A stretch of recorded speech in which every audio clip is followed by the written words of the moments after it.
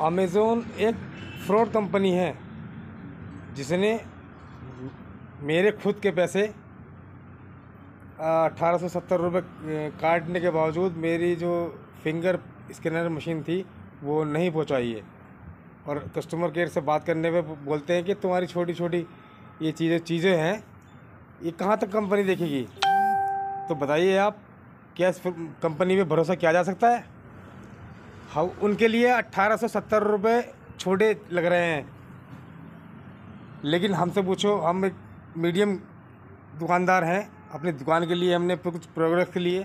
तीन जुलाई को मैंने ये पैसे भरे, पैसे हैंड टू हैंड काट लिए उन लोगों ने। और सात जुलाई को रिसीव भी दिखा दिया, लेकिन मेरे पास ये मशीन नहीं आ पाई। ना ही किसी कर्मचारी का कंपनी वालों का मेरे पास फ़ोन आया। और ना ही मैं वो मशीन मुझे मिल पाई है। लेकिन उन्होंने कह दिया कि आपकी मशीन के ज़िम्मेदार हम नहीं हैं।